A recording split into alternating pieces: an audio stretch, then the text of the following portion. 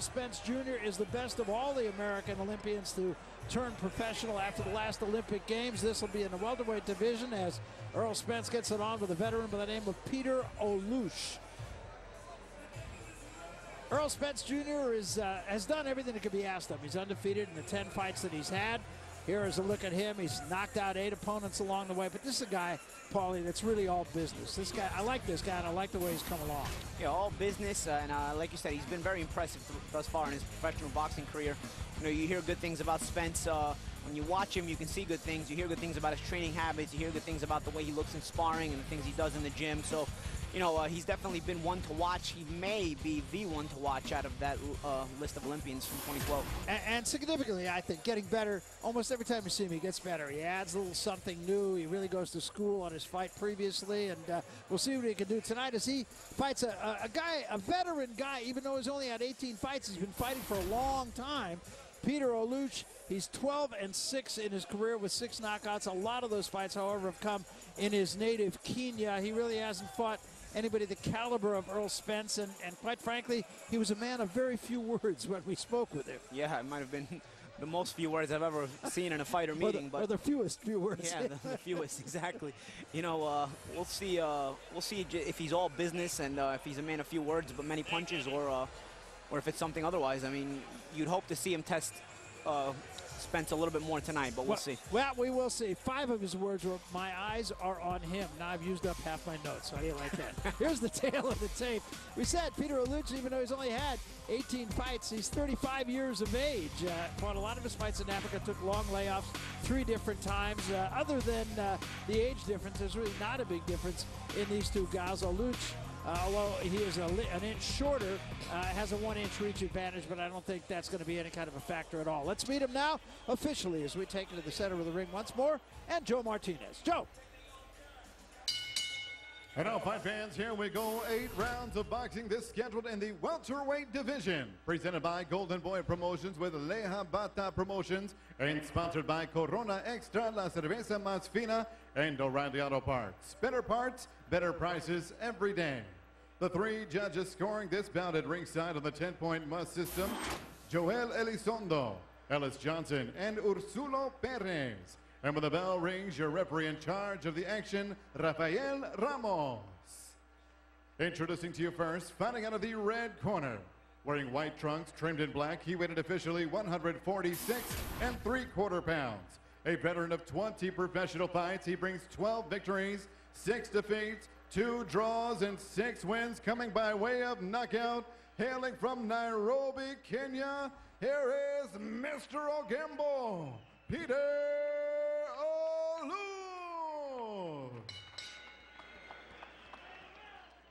And next his opponent across the ring, fighting out of the blue corner. Wearing silver trimmed in blue and white, he weighed in 147 pounds. His record stands perfect, 10 victories, no defeats with eight wins coming by way of knockout. A 2012 U.S. Olympian, here is the undefeating rising star of DeSoto, Texas, the true Errol Spence Jr.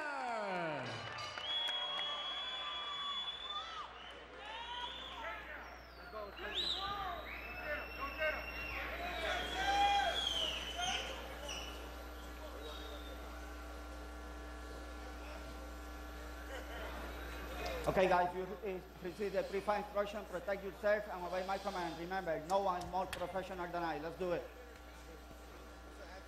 So Rafael Ramos, the final instructions to the fighters, and uh, Errol Spence back to the blue corner, and Peter Oluoch back to the red corner, and we're just about set to go. Errol Spence rocking the Dallas Cowboys trunks. Well, he is from Dallas. I'm I guess that explains I'm not it. Not a fan, though. I'm a Giants fan, so I can't say I'm fond of the trunks. I'm sure you're not. Oluoch, on the other hand, eh, quite honestly, we don't know what to expect from him. He's had three fights here in the United States. All his other fights have been in his native Kenya or somewhere in Africa, most of them in Kenya. Fight, fought one fight in Namibia.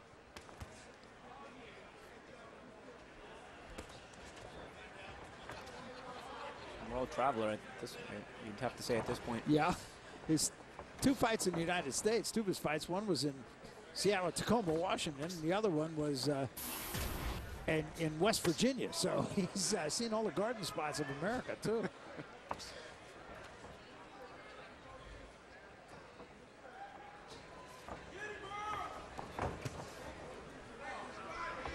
Spence nice and calm. He's trying to get the timing down on the Luch. Luch a bit of a herky-jerky style. So it may, may take Spence a round or so to really hone in on him.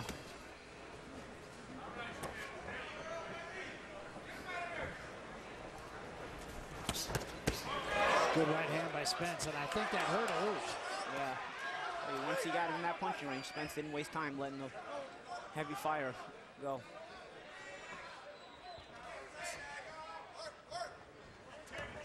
Luch trying to move to his left, keeping his trying to keep his foot on the outside of Spence so Spence can't set up the left hand, but he's gonna have to be a bit more accurate with his offense because just the moving will eventually not work. Spence will eventually find that distance and, and get his hands off as he did a few seconds ago. And Spence has uh, been working on that exact thing. He does a lot of work on footwork, on balance.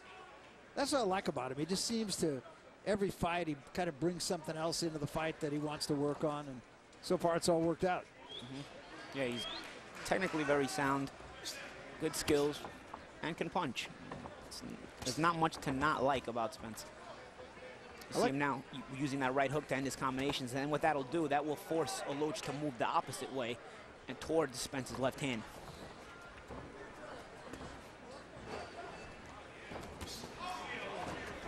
Left hand, another left hand. He gets Oluoch going backward. This is where Oluoch does not want to be. Just gonna say that he does not want to be there. It'll allow Spence to kind of tee off. And yet he goes right back in there. I like that Spence takes his time, even when he set, he, when he traps his man, he's not rushing in. Make sure he keeps that proper punching distance so that he can get that snap off. And you can hear those punches thudding when he does hit the body of Oluoch. Very effective first round, I thought, for Errol Spence Jr. against the Kenyan Oluoch.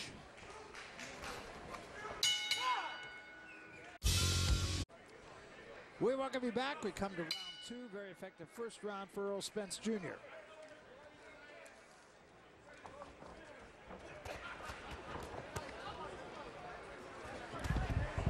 And Oluoch comes out fighting in the second round.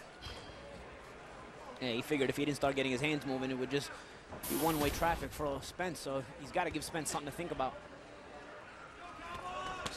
Oh, good left hand by Spence. Drove Oluoch into the corner. Another left hand by Spence. And Oluoch right hand gets Spence out of there, but only for a second. Luch took it well, though. Spence landed that, s- that left hand pretty solidly. Of course, too many of those, he won't take them well anymore, so he's going to have to set something up and get something going here. Tonight's CompuBox Stats brought to you by ThrowdownFantasy.com. Draft fighters, track stats, and win. And you can see the numbers in the first round. Spence landing 29 of 76 to Oluoch's only seven punches connected. He threw 44. More of same here in round two. Terry Luch is getting to the point where he doesn't know where to go to protect himself. Spence is now cutting the distance a bit faster, a bit quicker. And he's not missing very many of those shots. No, he's not.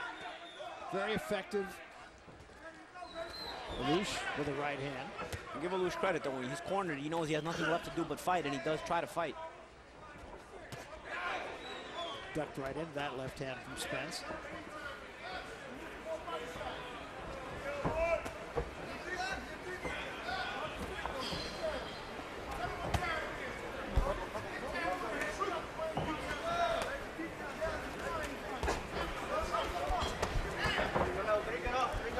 Straight a little bit low.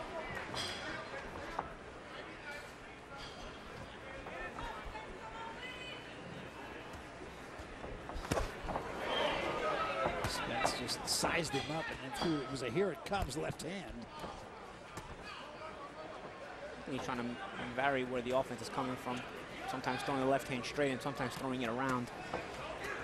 That way you take away the, uh, the ability for your opponent to anticipate where the shots are coming from.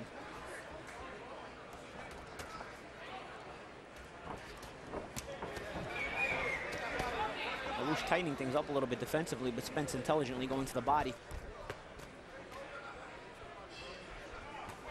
Spence just doesn't waste a lot of punches. He's effective with the punches he throws.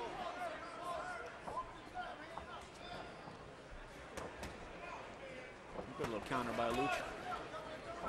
He's thinking, and there he goes again.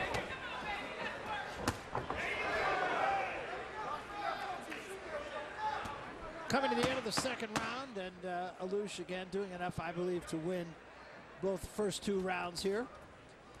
We got a lot more to talk about from here in San Antonio.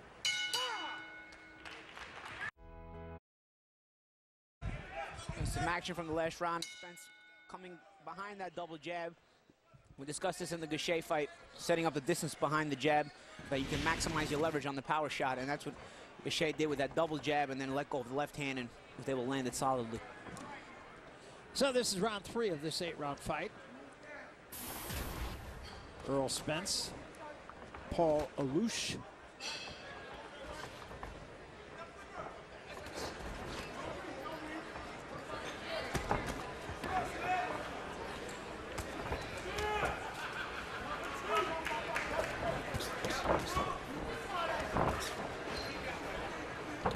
Spence pretty good defen defensive fighter also. Takes a lot of punches on his elbows, on his shoulders. Yeah, yeah. And even a Luch, you know, he's not stupid defensively. I mean, he, when he's been hit, it's because Spence has set him up nicely. But Luch also rolls in a bit of a herky-jerky style in his own right. It's keeping Spence thinking a little bit. I mean, Spence is the busier fighter, and he's winning these rounds, but he's got to think his way through this. Yeah, little bit. wh- which makes it a good fight for him. Yeah, these are the kind of fights that make you learn. Force you to be patient at times. You can't just rush in with your work with a guy like Oluoch. But you like to see that Spence remains composed nonetheless. Yeah, many people feel that of the Olympic class that he probably has A, the fastest track to a championship, and B, probably the best shot at a championship. Oluoch turned lefty there for a second. Back to right-handed. Trains in Texas, in DeSoto, Texas, the suburb of Dallas. Said he's got a lot of friends who made the four-hour drive up here to San Antonio.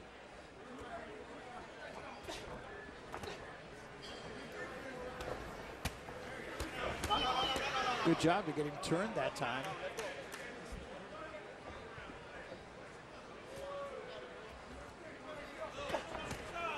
Tell you, Luch is lively in there, man. He's not making it easy for Spence. He's not busy enough to win these rounds, but I tell you, he's tough to hit clean. Yeah, And as I say that, he does get hit clean, but exactly. Spence has to think his way through this.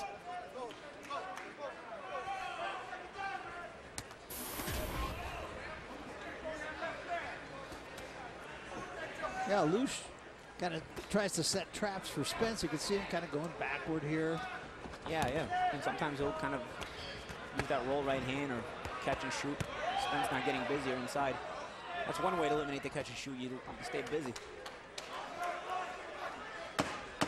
Lush still going backwards, although I'm not sure this is a tactic. There's a right hand, drives him into the ropes.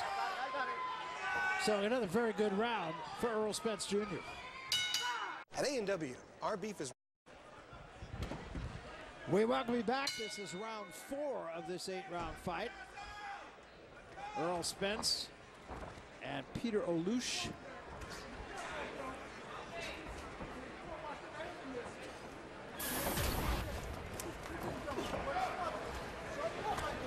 Just sitting here trying to think of the great fighters who have come out of Kenya, and there are not a lot of them. Not a lot of them, no. I'll tell you, Oluoch is crafty. he may not be a great fighter, but he's crafty. I got it, I got it. Approach it. Let it go. That's it. Three. It's hard to hit with a combination. I mean, anytime Spence does land something solid, it's, it's one at a time because this guy is so herky-jerky. And sometimes you can't time where he's going. Or which way he's going to bend and weave. Spence doing a really good job of staying in front of him, though, whatever he does.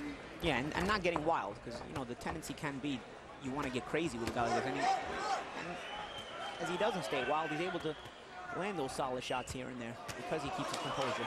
That was a pretty good shot right there. And now it's got Oluoch going backward. Now Oluoch is in trouble. And an uppercut forces him to hold on, and he takes a knee. And now let's see if they'll call that a knockdown. I think Rafael Ramos is, and rightly so. That's the thing. When you can punch like Spence, you don't need to land too many combinations. Sometimes the one solid shot will do it, and you can get your guy reeling and follow up. That's what Spence did there. And he comes right to Oluoch this time. Four shots to the head, and the back solution to a corner again. And there was a great left hand, and it put Oluoch right on his back, and Rafael Ramos going to wave it off. It is over. I'll tell you what, that was an impressive performance. Impressive. And Alusha's game. Alusha's game, and, you know, he, he gave it his, his all, and he, he forced Spence to think, and Spence thought his way through it and got the KO, that, which makes it all the more impressive. Absolutely. Here's another look at it. And, uh, you know, you like the way he set it up, and you like the way he finished it.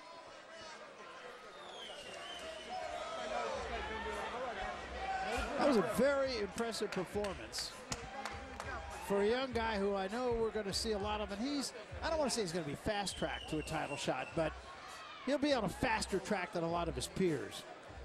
Yeah, you, with performances like this, you know, uh, Oluoch may not be a known commodity or a known name, but he was a guy who forced Spence to have to think his way through and remain calm and composed, and that's what Spence did.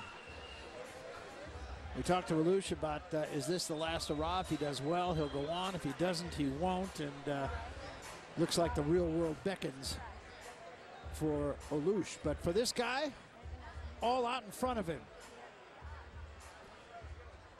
We're going to get a chance to look at the first knockdown and then the final one. It started with that solid left hand by Spence that had got Oluoch reeling, and this is the follow-up. Spence stayed on him. Again, like we said, didn't get too crazy, didn't didn't lose his composure, and it caused the knockdown eventually. And here's the end of the fight, right after Oluoch got up from that count. Sharp inside left hand, and that was it. The referee had seen enough there. Well stopped, I thought, by Rafael Ramos. Very good referee. And the victory goes to Errol Spence, his ninth knockout and his 11 wins. Notice how short that left hand was. It was all because Spence remained composed throughout the fight. Technique matters a lot. You know what I really I like his balance. You know, for a young guy, he always seems to be on balance. Even if he's chasing, he still, when he throws his punches, manages to get himself on balance. I he's a guy that I think has a very very bright future. Errol Spence Jr. He is now 11 and 0 with nine knockouts and a well-deserved smile. This is a guy you're definitely going to be seeing more see more of on Golden Boy, and uh, who knows? But that a championship might not be more than a year away. That is something we talked to him about, and he said, "Oh, maybe the start of next year, I might be ready for that." He wants to stay busy again this year. He fought eight times last year. He fought seven. He wants to fight seven times this year. So in the meantime, he is a winner. He runs his record to 11 and 0. We are in San Antonio. Our main event of the evening still to come, so don't go anywhere. That's Junior so far, the star of the night. Let's take a look at the final numbers. Tonight's CompuBox stats brought to you by ThrowdownFantasy.com. Draft fighters, track stats, and win. And here are the final numbers in no contest. 115 punches landed out of 337 thrown. Oluoch only landed 26 punches in the fight. It was a dominant performance by Errol Spence, and it was ended in dramatic fashion. So for Oluoch, he came into the ring a confident guy. He left maybe not so confident. Yeah, you know, and Spence did what he was supposed to do. You know, he remained composed, and it's not as it's easier said than done with a guy like Oluoch, who's got that herky jerky style, like I said, and can be a little awkward at times. But Spence showed the category of prospect that he is, the level of the, the pedigree that he has. He remained composed, set his man up, and finally, when he did see the opportunity, he pounced and got him out of there. Maloch was very crafty, but in the end, you saw the one-punch knockout that followed the knockdown originally. So an impressive performance. There's no question about it. And we take you once more to the center of the ring for the official announcement. Here again is Joe Martinez. Joe? Ladies and gentlemen, the end comes officially 1 minute 39 seconds. Round number four, your winner by KO victory and still the undefeated true Errol Spence Jr. So there he is, Errol Spence Jr., 11 0 with nine knockouts, and takes another step on the road for a hope for title shot, and uh, he did nothing to uh, discourage people who believe in him.